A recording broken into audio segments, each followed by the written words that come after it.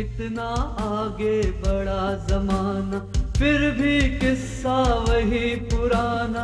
अब है नया संसार बनाना। पढ़ना है, पढ़ाना है, सबको साक्षर बनाना है।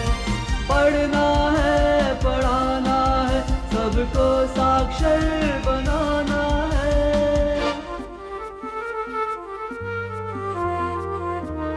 तो शोषण से लड़ना है, नया समाज हमें गढ़ना है, प्रगति की राह पर चलना है, सपनों को साकार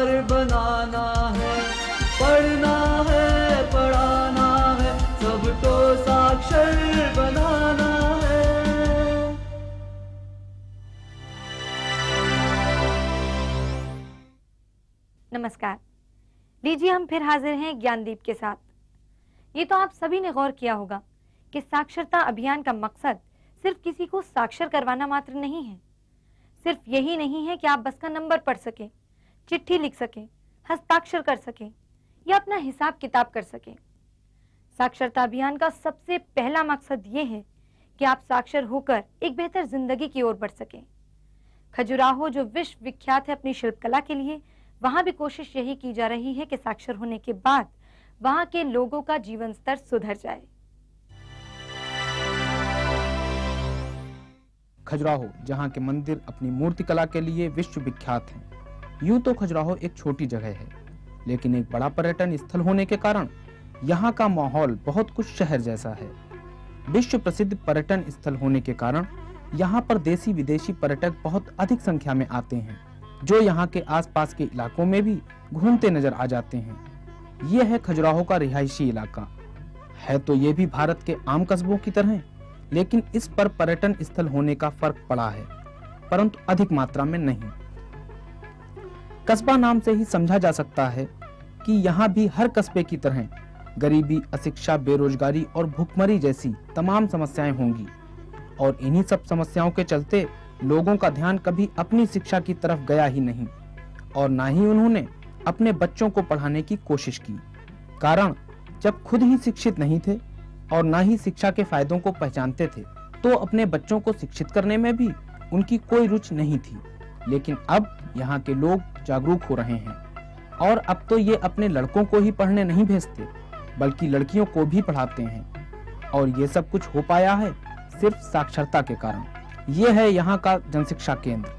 पढ़ना बढ़ना आंदोलन के तहत जब महिलाओं ने यहाँ चल रहे साक्षरता केंद्र पर आकर पढ़ना शुरू किया तब उनकी समझ में आया कि पढ़ाई करना औरत के लिए क्यों ज़रूरी है। रिजवाना खातून कहती हैं कि औरत पढ़े तो किसी की मोहताज नहीं रह सकती। कुछ बन सकते अपने पैरों खड़ी हो जाए कुछ भी सिलाई सेंटर भी खोल सकती है। ए, मतलब कुछ भी किसी को चार बच्चे बैठा बैठा लो तो पढ़ाने के लिए कुछ भी हो सकता है मतलब कर सकती है वो। अगर पढ़ी लिखी तो कुछ भी कर सकती है। किसी की मोहताज नहीं रह सकती है। और जब एक बार पढ़ने का चस्का लगा और मज़ा भी आने लगा तो अब हाल ये है कि समय होते ही सभी महिलाएँ पढ़ने के लिए केंद्र पर इकट्ठा हो जाती हैं। और अब ये किताब भी बहुत मन से पढ़ती हैं। और क्यों ना पढ़ें? साक्षरता से हो रहा फ़ायदा अब इनकी समझ में जो आ गया है। और अब तो सब साक्षरता के फ़ायदे ही गिनाती हैं। पढ़ाई से फ़ायदे होते हैं, अकल आती सब समझदारी से काम कर सकते हैं। अच्छी तरह से बातचीत भी कर सकते हैं, अपने बड़ों की इज़्ज़त भी कर सकते हैं। ये होता है पढ़ने से। इस साक्षरता केंद्र को चला रही हैं उषा खरे। ये बताती हैं कि पहले औरतें पढ़ने नहीं आती थीं। इनकी सास पुराने विचारों की होने के कारण इनको केंद्र पर पढ़ने नहीं भेजती थी। तब इनको समझाया कि पढ़ोगी तो लोन मिल जाएगा। ये कहती हैं कि शुरू में तो औरतें पैसे के लोभ में यहाँ आईं मगर धीरे धीरे वो साक्षरता के फायदों को पहचान गईं और अब तो अपने मन से पढ़ने आती हैं। साक्षरता के बाद उनमें आ रहे बदलावों को बताते हुए वे कहती हैं, अब उन लोग बहुत परिवर्तन हो गया। वो बोली कि, हम कम से कम जाते हैं तो घर में अपने बड़ों की मतलब इज़्ज़त करते हैं। उन्होंने कहा तुम तुम शब्द निकालते थे। हमने कहा, अपने अपने से बड़ों को मतलब आप करके बोलना चाहिए। अपने घर में यदि कोई आता है तो उसको मतलब खड़े हो जाओ, अपने से कोई बड़ा है। मतलब हर चीज़ सीख ली है उन लोगों ने। बच्चों को भी वही सिखाते हैं, फिर वातावरण में भी बदलाव आ गया है खान पान में आ गया है रहन सहन में। यदि तुम मतलब कहीं जाती हो तो हर मतलब पहना ओढ़ाओ से मतलब जाओ, घर में रहती हो तो कुछ और है। महिलाओं में आ रहे बदलावों को और उनके विचारों में आ रहे परिवर्तनों को देखकर ऐसा लगता है कि जिस दिन महिला पूर्ण रूप से साक्षर हो जाएगी उस दिन वो हर क्षेत्र में पुरुषों के साथ कदम से कदम मिलाकर चलेगी। अंधकार में कोई उजाला कर दे, इससे बेहतर बात भला और क्या हो सकती है। देखने में, सुनने में, कहने में, हर भाव में ये बात बहुत अच्छी लगती है। निरक्षरता का अंधकार मिटाने में जो लोग आगे हैं, उनकी कहानियाँ तो आप सभी ने देखी हैं। चलिए, आज हम आपको लिए चलते हैं पंजाब के नवंशा इलाके में। जहाँ हमने अंधकार मिटाने का एक बहुत ही खूबसूरत दृश्य देखा। सर पर कलश और उस पर जलती मोमबत्तियाँ सजाकर घूमती ये लड़कियाँ। रात के अंधेरे में इस उजाले से गाँव के रास्तों को तो रोशन कर ही रही हैं। साथ ही इसमें लोगों के लिए है एक संदेश कि जैसे प्रकाश की एक छोटी सी किरण इन अंधेरों से भरे हुए रास्तों को रोशनी से भर देती है वैसे ही शिक्षा रूपी दिए की ज्योति उनकी ज़िंदगी के अंधेरों को उजालों में बदल सकती है। ये संदेश है उन लोगों के लिए जो किसी कारणवश बचपन में पढ़ नहीं पाए या जिनकी शिक्षा अधूरी रह गई। ये हो रहा है पंजाब के गाँव चक कलाल में और यह सारा कार्यक्रम यहाँ कराया जा रहा है, चल रहे साक्षरता कार्यक्रम के अंतर्गत। सर पर कलश और मोमबत्तियाँ रखकर ये लड़कियाँ गाँव में तो घूमती ही हैं, साथ ही लोगों को समझाने के लिए उनके घरों में भी जाती हैं। और उन्हें शिक्षा के प्रति जागरूक करती हैं। इस तरह समझाने का प्रभाव लोगों पर जल्दी ही सामने आया। और अब तो गाँव के लोगों ने साक्षरता के चारों तरफ़ फैलाए जा रहे संदेश को बखूबी समझ लिया है। तभी तो जब ये लड़कियाँ सर पर कलश और मोमबत्तियाँ रखकर गाँव के रास्तों पर निकलती हैं तो इनके पीछे चलने वाली भीड़ इतनी ज़्यादा होती है कि लगता है पूरा गाँव ही साक्षरता कार्यक्रम में अपना सहयोग दे रहा है। लोगों में साक्षरता से आ रही जागरूकता का प्रमाण है। जगह जगह लिखे हुए साक्षरता के नारे, चाहे कोई दीवार हो या दुकान, ये नारे हर जगह लिखे हुए मिल जाते हैं। कृषि के लिए मशहूर पंजाब के गाँव में पहले लोग शिक्षा को ज़्यादा महत्व नहीं दिया करते थे। कारण था खेती। अधिकतर लोग कृषि करते थे और वे चाहते थे कि उनके बच्चे भी बड़े होकर उनके काम में हाथ बटाएँ। लेकिन गाँव में चलाए जा रहे साक्षरता कार्यक्रम के कारण लोगों ने शिक्षा के महत्व को पहचाना। और अब वे अपने बच्चों को पढ़ने के लिए भी स्कूल भेज रहे हैं। लोग केवल अपने लड़कों को ही शिक्षित नहीं कर रहे, बल्कि अपनी लड़कियों को भी पढ़ा रहे हैं और उन्हें पढ़ाई करने के लिए गाँव से बाहर भी भेजने लगे हैं। ये संभव हुआ है महिलाओं में आई जागरूकता के कारण, जो निसंदेह साक्षर होने के बाद आई है। ये महिलाएँ जान चुकी हैं कि शिक्षा औरत के लिए बेहद ज़रूरी है और शिक्षित होने के बाद ही औरत अपने परिवार को बेहतर और सुचारू रूप से चला सकती है। इस गाँव में चल रहे साक्षरता केंद्र पर पढ़ने के लिए जो महिलाएँ आती हैं, उनमें से अधिकांश महिलाएँ अपना नाम लिख लेती हैं और किताब पढ़ लेती हैं। इसके साथ ही वे हिसाब किताब करना भी सीख गई हैं। बिमला बताती हैं साक्षरता के फ़ायदे। बैंक में जाने आप सैन कर दिया, स्कूल जाइदा बच्चों ने अपना दाखला तार के आईदा या। जेड़ा बच्चों बैठन उठन की शीशा आप दस्ते दिया। ਜਿੱਦਾਂ ਮੈਡਮ ਪੜ੍ਹਾਉਂਦੇ ਆ ਪਤਾ ਲੱਗ ਜਾਂਦਾ ਵੀ ਕਿੱਦਾਂ ਇਸ ਬੰਦੇ ਨੇ ਇਸ ਤਰ੍ਹਾਂ ਬੋਲਣਾ ਆ ਇਸ ਨੇ ਇਸ ਤਰ੍ਹਾਂ ਬੋਲਣਾ ਆ ਕਿ ਜਾਣੀ ਸਭ ਫਾਇਦਾ ਬਹੁਤ ਫਾਇਦਾ ਹੈ ਮੈਡਮ ਜੀ जबकि यशपाल कौर कहती हैं पढ़ाई करने में बहुत मजा आता है हम पढ़ते हैं बहुत अच्छा लगता है और पढ़ने का भी बहुत मज़ा आता है महिलाओं में आ रहे ये परिवर्तन साक्षरता का ही परिणाम है साक्षर हो जाने के बाद से इन महिलाओं को पढ़ाई करने में इतनी रुचि पैदा हो गई है कि ये महिलाएँ साक्षरता केंद्र पर समय से पहले ही आ जाती हैं और एक दूसरे से बात करके अपनी जानकारियों को और बढ़ाती हैं। महिलाओं की शिक्षा के प्रति बढ़ रही दिलचस्पी और उनमें हो रहे बदलावों को देखकर सुनीता रानी कहती हैं, पहले की औरतें अनपढ़ थी। अब की औरतें जो अनपढ़ थी, वो पढ़ चुकी है। और हर एक चीज़ चीज़ को, का चुनाव सोच समझ कर करती है। पढ़कर इन्हें बहुत खुशी मिलती है। सुनीता इस गाँव में चल रहे साक्षरता केंद्र में महिलाओं को पढ़ाती हैं और महिलाओं को नई जानकारियों के बारे में समझाती हैं। साक्षर होने के बाद से यहाँ की महिलाओं के रहन सहन में फ़र्क तो आ ही गया है और शिक्षा ने इनके विचारों को भी प्रभावित किया है। ये महिलाएँ अब पुराने रीति रिवाजों को तोड़कर नए दौर की तरफ़ बढ़ रही हैं। जब से मैंने इन औरतों को पढ़ाना शुरू किया है मुझे बहुत खुश हो हुई है और इन्होंने इस नए दौर की बहुत सी बातें जान ली है। और हर एक पुराने रीति रिवाजों को तोड़ तोड़ कर आगे बढ़ रही है। कहते हैं पैसा वो चीज़ है जो व्यक्ति के अंदर आत्मविश्वास पैदा करता है। सिलाई करती इन लड़कियों के चेहरे भी आत्मविश्वास से भरे नज़र आते हैं। इन लड़कियों को सिलाई सिखाती और इस केंद्र को चला रही परमिंदर बताती हैं। इससे एक तो ये सेल्फ कॉन्फिडेंस होती है। और दूसरे अपने घर का गुजारा वगैरह में स्टिचिंग वगैरह सिलाई से भी बच सकती है। सच है जब से गाँव वाले साक्षर हुए हैं उनमें हर काम के प्रति उत्साह और आत्मविश्वास और बढ़ा है। ये उनके अंदर आया आत्मविश्वास ही है कि अब वे हर काम में बढ़ चढ़कर भाग लेते हैं चाहे वो पढ़ाई हो या सांस्कृतिक कार्यक्रम। पट्टी वे दारू पीड़िया में तेरी दारू ने पट्टी वे दारू पीड़िया में तेरी दारू ने पट्टी। किसी भी जगह को जब पूरी तरह से साक्षर बनाना हो तो सिर्फ़ इस बात पर ज़ोर नहीं दिया जाता कि वहाँ रहने वाले, जो पीढ़ी दर पीढ़ी वहाँ बसते आए हैं, वो साक्षरता क्लास में आए। बल्कि उस गाँव में रहने वाले, जिनमें वहाँ पलायन करने वाले शामिल हैं, वो भी इस साक्षरता अभियान में शामिल हों। उदाहरण के तौर पर उत्तर पूर्वी इलाके इवालपुई में नेपालियों को साक्षर करने की कोशिश की जा रही है। है तो ये उत्तर पूर्वी राज्य मिजोरम का एक छोटे से गाँव बुआलपुई का दृश्य। पर यहाँ बसने वाले ज़्यादातर पड़ोसी देश नेपाल से आए लोग हैं। बुआलपुई का मतलब है वाटर होल यानी कि वो जगह जहाँ जानवर पानी की तलाश में आते हैं। आज यहाँ के लोग साक्षरता की गंगा का पानी पीने आए हैं। उन्हें शायद लग रहा है कि ये पानी पीने से उनकी कई समस्याओं का हल निकल सकता है। इस क्लास में पढ़ने वाले और पढ़ाने वाले सभी नेपाली हैं। ज़ाहिर है अपना देश छोड़कर कोई कहीं और क्यों जाता है? नौकरी या रोज़गार की तलाश में। ये लोग भी नेपाल से यहाँ नौकरी या रोज़गार ढूँढने के लिए आए हैं। और पिछले कई दशकों से यहाँ बस रहे हैं। किसी न किसी काम में व्यस्त हैं। ज़्यादातर लोग तो खेती से ही जुड़े हैं। पर बदलती दुनिया के चित्र टीवी पर देख उनके मन में साक्षर बनने की इच्छा जगी। पर पूरी मीजो इन्हें आती नहीं। अंग्रेज़ी भी बस समझ जाते हैं। बोलना, पढ़ना बिल्कुल नहीं आता था।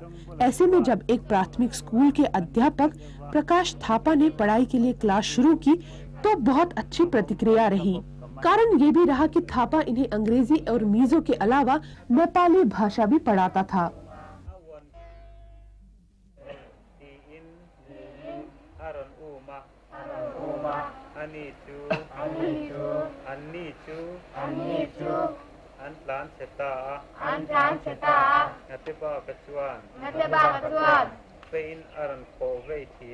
सुख बहादुर चेत्री दिन भर खेती का काम करता है, पर बीच में खुले खेत में जब ये क्लास लगती है, तब यहाँ आकर लिखना पढ़ना भी सीख जाता है। मैं जूम खेत करता हूँ जूम पर धान उन लगाता हूँ, वहाँ पर जाकर ऐसा सप्ताह दिन, दस बारह दिन बैठता हूँ।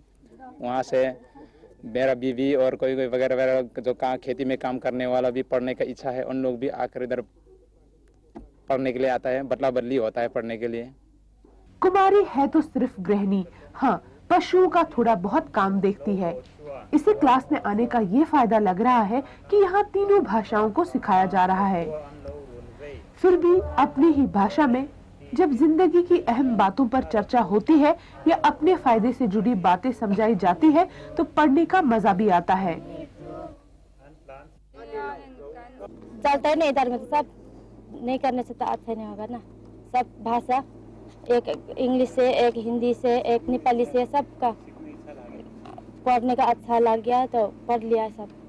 चंद्रा बहादुर लामा कहता है कि हमें कीटनाशक या उर्वरक का प्रयोग अब करना होता है तो उन पर लिखे निर्देश पढ़कर ही उनका इस्तेमाल करते हैं। ये तो है ना लिखा पढ़ा हम नहीं जानता है इसलिए वो पढ़ के इसमें क्या फ़ायदा होगा उसको वो जब दूर दूर से आता है तो कोई दवाई के लिए कैसा छीटना पड़ता है इसको कीड़ा कैसा मारना पड़ता है इसलिए इसको मैं पढ़ाने के लिए कोशिश कर रहा हूँ। अब पढ़ रहा हूँ अभी जो दवाई भेजता है दूर दूर से तो वो देख देख के कितना लिमिट देना पड़ता है वो करता हूँ। कुमारी कहती है कि बच्चों को दवा भी दवाई के पत्ते या बोतल पर लिखे निर्देश के अनुसार ही देते हैं। पहले तो हम लोग मेरा काम भी नहीं सुनता था। कुछ हम लोग को मालूम नहीं था। हॉस्पिटल में दवाई देता था। कैसे करके देंगे बच्चा लोग का क्या टाइम में देंगे वो भी हम लोग मालूम नहीं था। अभी थोड़ा पढ़ के सुन के तो थोड़ा अभी मालूम हो गया। प्रेरक प्रकाश थापा कहते हैं कि शुरुआती दौर में प्राथमिक ज्ञान देना उसका मकसद है पर आगे चलकर उन्हें उच्च ज्ञान की तरफ़ ले जाएँगे। हम ये लोग को बुलाया है। इधर नॉन फॉर्मल में आप लोग आ जाओ इधर एडल्ट एजुकेशन है। इसमें इससे भी आप लोग का एजुकेशन हासिल कर सकता है। यहाँ से आप लोग का इच्छा हो तो आगे भी पढ़ सकता है बोल के लोग को भी बुलाया इनका ऐसा सोचने का ठोस आधार भी है क्योंकि ये विद्यार्थी खुद आगे पढ़ने की तमन्ना ज़ाहिर कर रहे हैं।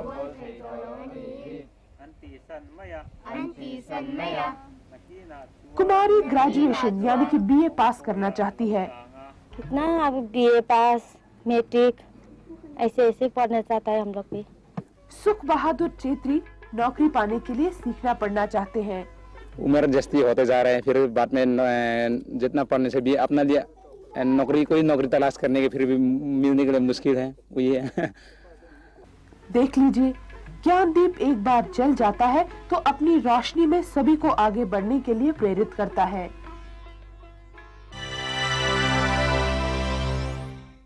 साक्षरता अभियान में एक व्यक्ति की भूमिका बहुत ज़्यादा महत्वपूर्ण होती है, और वो है उस अभियान को चलाने वाले स्वयंसेवक की। उसको हर लिहाज में गुरु जी का दर्जा दिया जाता है। उसकी हर बात मानी जाती है और उसे बहुत इज़्ज़त दी जाती है। गुरु जी शब्द ही इतना आदरणीय है, पर गुरु जी यानी एक शिक्षक की भूमिका बहुत आसान नहीं होती। छत्तीसगढ़ के सरगुजा इलाके में गुरु जी का कहना कुछ ऐसा ही है।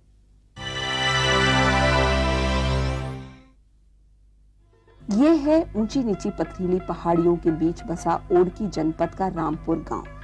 करीब 60 घरों में बसे आदिवासियों को पढ़ाने का जिम्मा उठाया यहीं के प्रेम कुमार ने। वैसे तो सरगुजा ज़िले में संपूर्ण साक्षरता अभियान की शुरुआत उन्नीस सौ चौरानवे में हो गई थी, लेकिन उस समय निरक्षरों की संख्या बहुत ज़्यादा थी। अब उनमें से 50 प्रतिशत साक्षर तो हो चुके, पर ये काम बहुत ही मुश्किल का था। मैं बहुत थक जाती थी। जब प्रेम कुमार ने इस केंद्र को खोला तो उसकी कक्षा में दर्ज होने के लिए कोई भी प्रौढ़ निरक्षर नहीं आया। उसे शुरू में तो बहुत निराशा हुई, परंतु प्रेम ने हिम्मत नहीं हारी। घर घर पहुंचकर वह निरक्षरों को प्रेरित करता रहा। निरक्षर लोगों ने उसे अपनी अपनी समस्याएँ सुनाई। किसी ने कहा, उसे मजदूरी करने जाना है। किसी ने कहा कि, पढ़ना उसके बस की बात नहीं। और किसी ने तो ये कहा कि पाठशाला में उसे जाने की इच्छा ही नहीं होती। परंतु प्रेम कुमार ने अपनी ही हिम्मत और लगन से उनके साथ संबंध बनाए, अपने ही तरीके से उन्हें बांधा, उनके साथ खेतों में काम किया और फिर पढ़ने के लिए प्रेरित किया। आज प्रेम कुमार की कक्षा में नियमित रूप से निरक्षर पढ़ने आते हैं। शुरू शुरू में तो इनके प्रतिदिन इनको घूम घूम के इनके घर जाते थे। सुबह निकलते थे, इसके बाद दोपहर से खाना खाने फिर आते थे फिर तीन बजे फिर निकलते थे फिर पाँच बजे आते थे इनके समझा करके। और इनको समझाते थे कि वहाँ नाच कीर्तन भी होगा पढ़ना लिखना ज़रूरी है। यदि हम पढ़े लिखे नहीं रहेंगे तो लोग हमारा शोषण करते ही रहेंगे। सामाजिक शोषण भी होगा आर्थिक शोषण भी होता रहेगा। और कई लोगों ने साक्षर बनकर काफ़ी फ़ायदा उठाया है। मुन्नीलाल राजवादे पहले साक्षर हुआ फिर आठवीं पास की और अब दसवीं क्लास की परीक्षा देना चाहता है। पाँचवीं पास करने के बाद दो या तीन साल गैप छोड़ दिया। उसके बाद आठवीं का फार्म भरवा दिए। फिर पर साल में आठवीं पास कर लिया। और फिर अब, अब इंतज़ार है कि अगर और अगर दसवीं कर लेता तो मेरे को बहुत अच्छा होता। और नए नए जानकारी मिल जाते। और खेती किसानी राजेश्वर प्रसाद पहले भैंस चराता था। फिर वो साक्षर हुआ। उसने पांचवी की परीक्षा दी। आठवीं भी पास कर गया। अब वो आगे भी बहुत कुछ करना चाहता है। पढ़ाई लिखाई तो बहुत अच्छा लगता है पहले तो सर मैं अनपढ़ था। पहले भैंसा गरु चरा रहा था। मैं सोचे ये साक्षरता वाले लोगों को देखा। तो बोला कि इन लोग बहुत अच्छा पढ़ रहे हैं मैं भी इनके साथ पढ़ूं। इसके बाद इनके साथ मैं भी पढ़ रहा था साक्षरता में। साक्षरता में पढ़ने के बाद मेरे को यही ललक आया नहीं पाँचवीं का ये औपचारिक के तरह से फार्म भर दिया जाए फिर पाँचवीं का फार्म भर दिए सर उसमें पास हो गया। फिर मैं सोचा नहीं ये आठवीं का आ गया। तो आठवीं उसमें से भी पास हो गया। आठवीं पास कर लिए इसके बाद मैं सोचा नहीं कुछ और पढ़ लिया जा इंसान नाइन्थ में नाम लिखा के सर मैं पढ़ इसी गाँव का रामलाल गाँव वासियों के लिए एक अब उदाहरण बन चुका है। कल तक वो एक अनपढ़ था अनभिज्ञ था। आज साक्षर हो चुका है। वह न सिर्फ़ दस्तखत कर लेता है बल्कि नियमित तौर पर देश दुनिया की खबरें भी रखता है। मैं पहले पहले जब आया तो मैं हुआ कहा कि मैं कहीं दूसरी जगह पढ़ रहा था। तो वहाँ से जब मैं आया और मेरा वहीं का प्रैक्टिस बना हुआ था मेरा बोलने का प्रैक्टिस था तो बहुत फास्ट था। तो मेरे बात से लोग को बहुत वो, मैंने कहना चाहिए मेरा मज़ाक उड़ाते थे। क्या? उन- उनका यही कहना था कि बहुत जल्दीबाजी किड़बिड़ किड़बिड़ बोलता है। तो बोलता है तो मैं फिर धीरे धीरे करके मेरा प्रैक्टिस हो कहना चाहिए कि धीरे हो गया।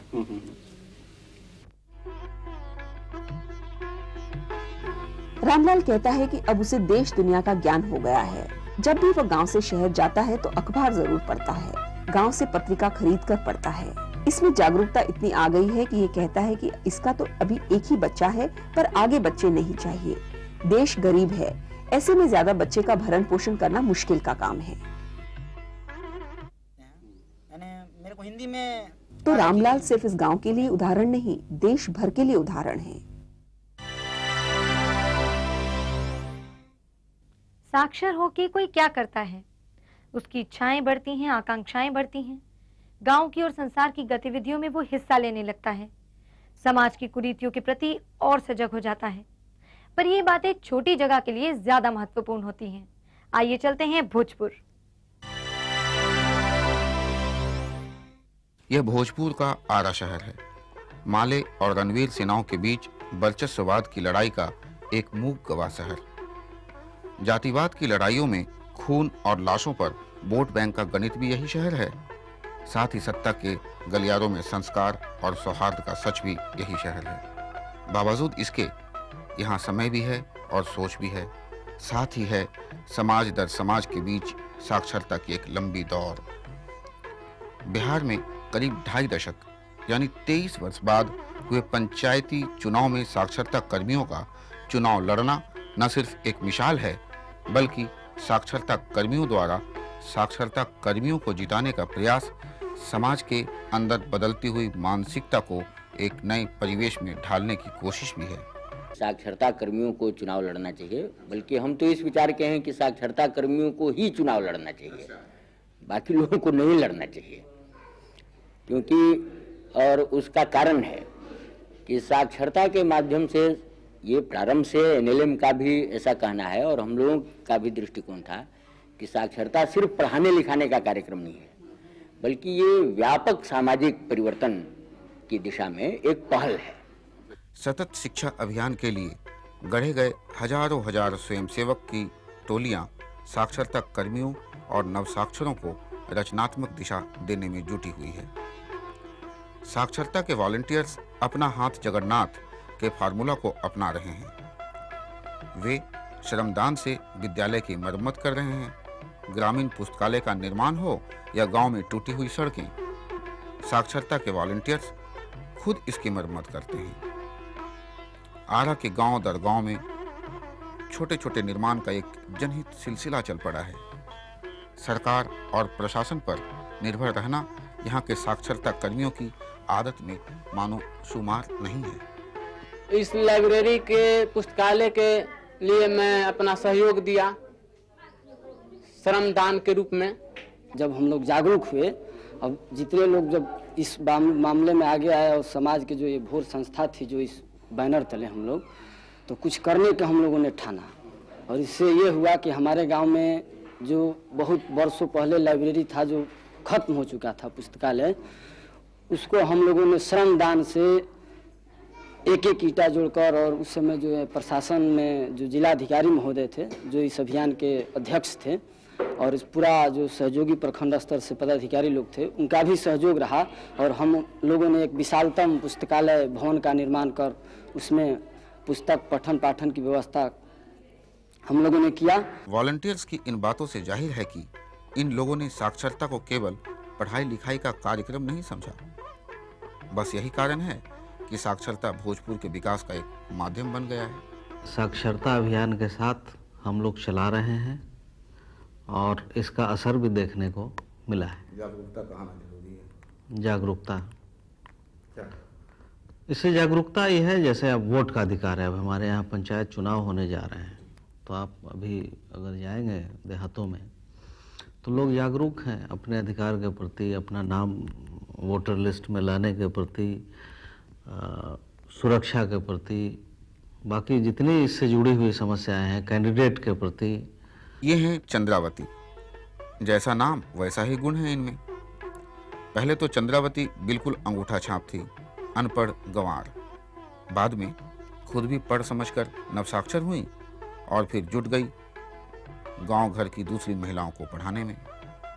बहुत जल्द ही गाँव घर की महिलाओं के दिल में चंद्रावती ने अपना घर बना लिया। और फिर कूद पड़ी अपने समाज को एक नई दिशा देने के लिए। पंचायती चुनाव में, पंचायती चुनाव में चंद्रावती ने अपने नाम को खुद घोषित किया।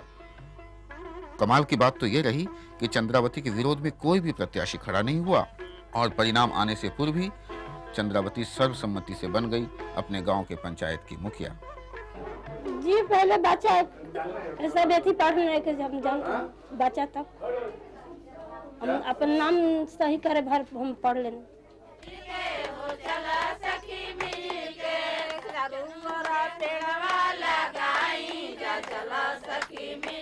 यह है सखियारो, महिलाओं का एक चेतनशील संगठन।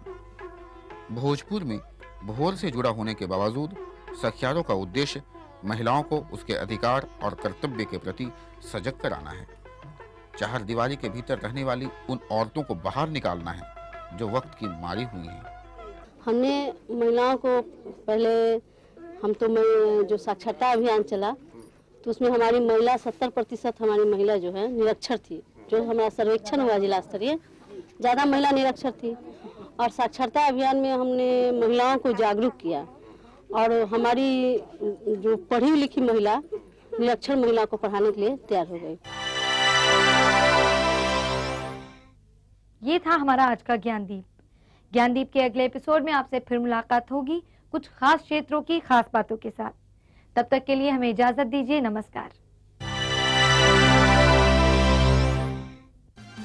पढ़ना